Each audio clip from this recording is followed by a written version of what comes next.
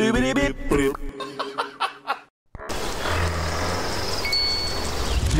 Mrs. Witherbee. Is she? How are you?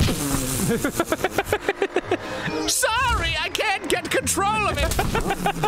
Can I borrow some nutmeg? Help! Do you have any extra propane tanks? Whoa!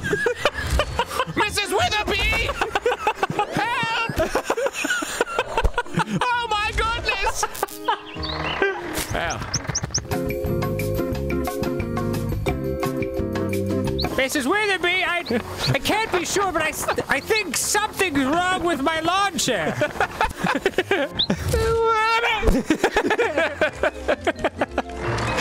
help!